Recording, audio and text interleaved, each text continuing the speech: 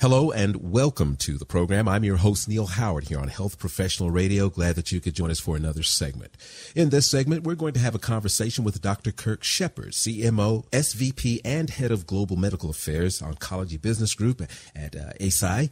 He's joining us to talk about the final results from the Keynote 146 Study 111 that was presented at the 2019 ESMO Congress. Welcome to the program, Dr. Kirk Shepard. How are you this evening?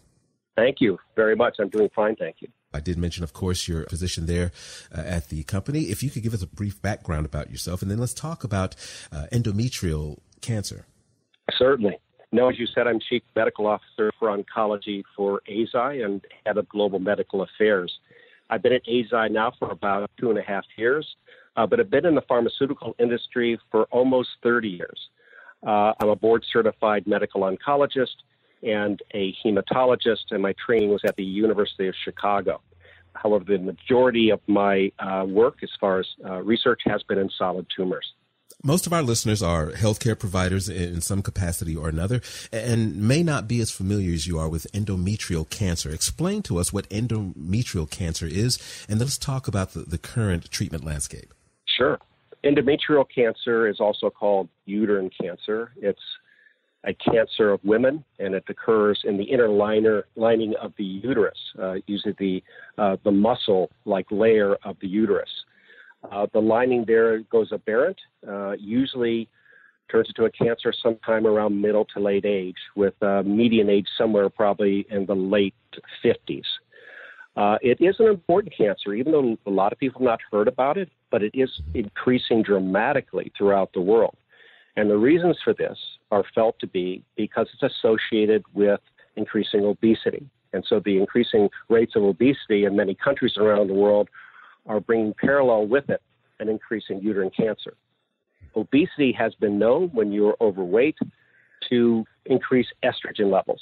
And like in breast cancer and some other cancers, these increased estrogen levels can lead to cancers down the line. So I think we will all hear more about uterine cancer with as time goes on because of its increasing incidence. Now, fortunately, the majority of these cancers in the uterine are caught early. Uh, probably around three quarters of them or more are caught early and are successfully surgically treated. A number of patients, because of maybe bad prognosis, because of the cell type or where it's spread, will get what we call adjuvant chemotherapy. And adjuvant means to help. So, in other words, there's no evidence of tumor usually, but they get the chemotherapy to keep it from coming back, to keep those small cells from growing back into a tumor. And occasionally, too, they'll get radiation therapy also in an adjuvant level to keep the tumor from coming back. Mm-hmm.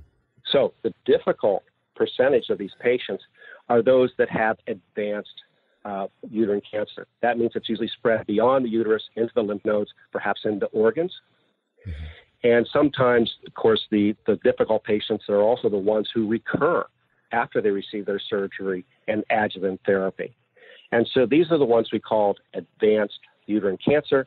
And this is the type of cancer we're talking about today that we are treating.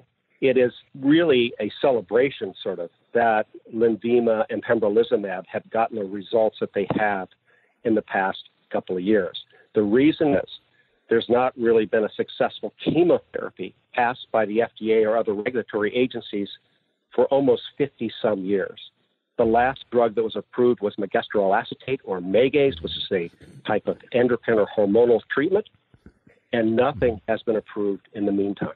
Recently, just a couple of years ago, pembrolizumab, this is a immuno-oncology or IO drug, was approved for a certain type of endometrial or uterine cancer.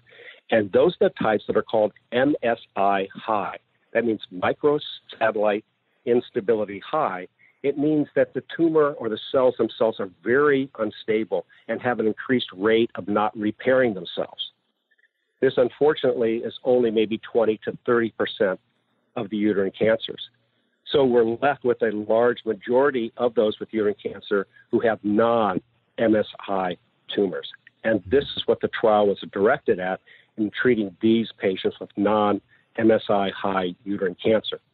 And we combined together pembrolizumab or Keytruda, which is a IO or immuno-oncology drug, and also a targeted drug called Lenvima or Lenvatinib.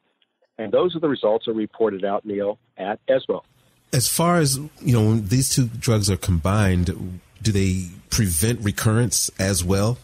Well, that's a great question. I, I think in the, in the beginning, when you go back a few years as far as the research on Lenvima and Lenvatinib, and I can speak mostly about that because that's the research that occurred with Eisai, we do preclinical studies to see against animal cells or cells like in a petri dish, how well do these drugs work individually and combined with others?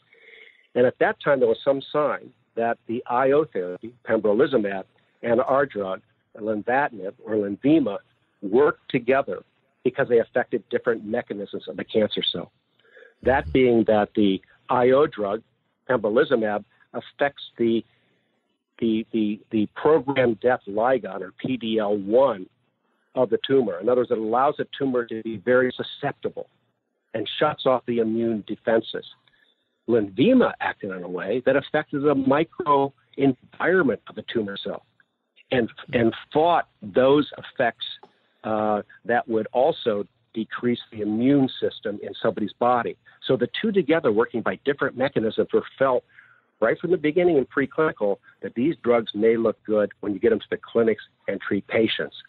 So initially, that was done.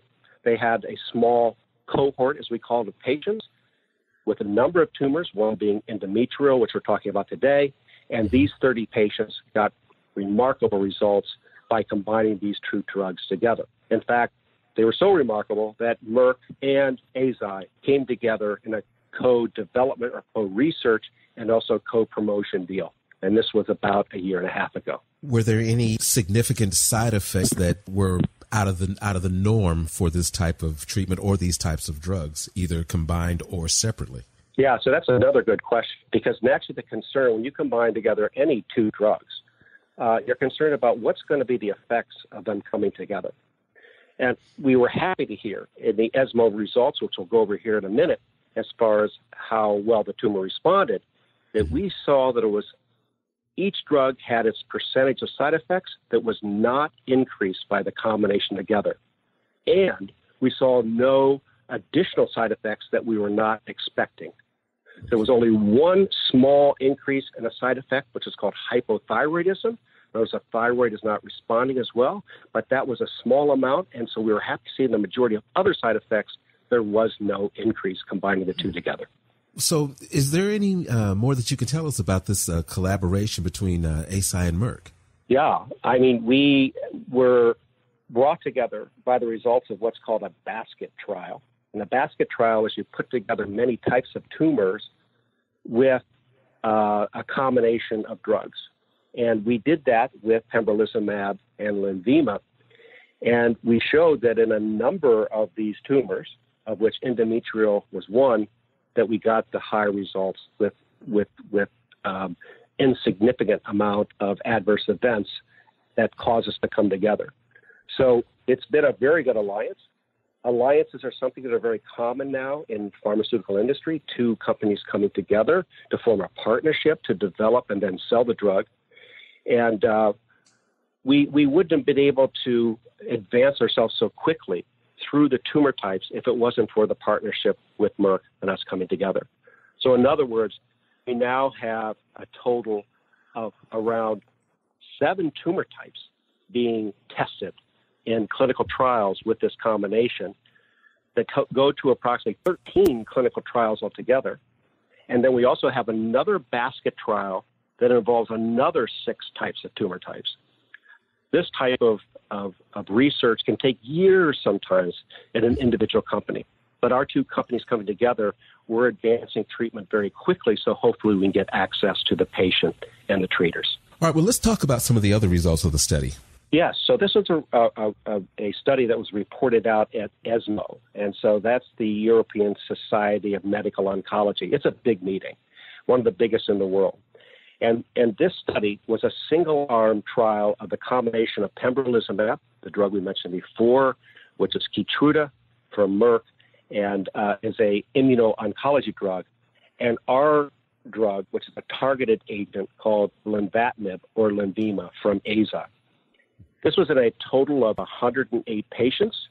So this study will be uh, taken to another stage. Where we're having a trial now to verify the results in hundreds of more patients. But this data itself was significant enough that we got an approval by the FDA.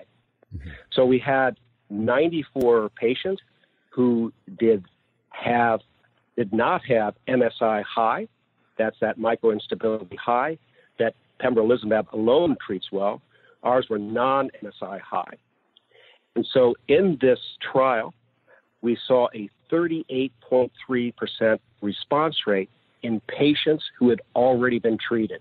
In other words, these are advanced endometrial carcinoma patients who had had previous systemic chemotherapy and still had a 38.3% response. In fact, remarkably, about half of the patients had been treated twice, and this was their third treatment or more.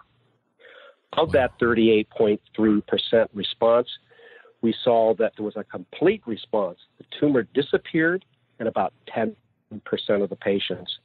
And around 27% of that number, it, it decreased by 30%. So these were thrilling results for us. But one of the thrilling things, too, about the results of the study is the median duration of response was not reached yet. In other words, 69% of the patients still had a response at six months. And that's incredibly important to us as oncologists, not only getting a response rate where the tumor shrinks, but the duration is also of a meaningful duration.